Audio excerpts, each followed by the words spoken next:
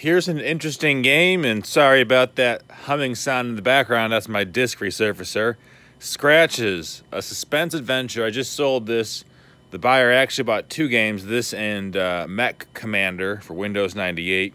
So this game, Scratches, is a adventure game, a scary kind of horror game from 2006 from Nucleosys and Got Game.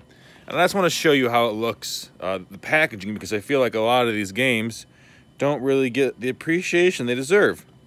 Start off with the back. Pretty, pretty simple. Something sinister waits in the old Blackwood house. The northern wasteland, so I guess that's probably England, right? But I want to show you the, the manual on the front cover. So there's the front cover art. A cool red scratching motif.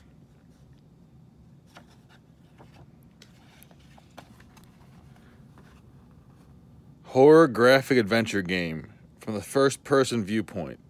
You will experience the game as if you were actually there. Fully clicked or fully controlled via the mouse with a point and click system. Features a realistic Victorian mansion, impressive, impressive special effects. I wish it was in color, the manual was but that's probably a bit more expensive. Here's the story. You'll step into the role of Michael Arthate, a blooming writer flush with cash from the sales of his debut novel, as he moves into an imposing Victorian mansion that he just bought set in the outskirts of a small rural town in northern England. Someone who lived there committed suicide, looks like. Soon Michael comes to realize his arrival may have disturbed some sinister forces that have been resting and waiting inside the place for many years. They got all the characters. And I guess just, you know, pause the video if you want to read any of these. I won't take up too much of your time. They have a, a part for the house. I mean, this is, I don't know, I feel like a lot of games now, at least the games that I see, don't really have this much in-depth exposition in the manuals, and I wish they did.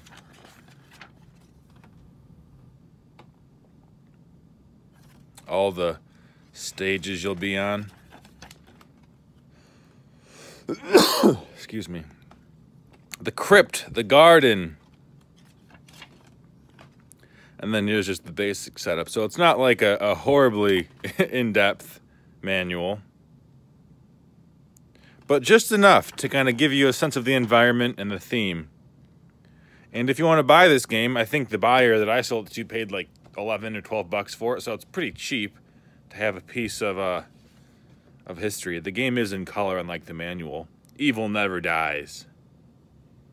It rests. Whoa! Too spooky for me. If you guys like this, give it a thumbs up and subscribe, and I'll see you later.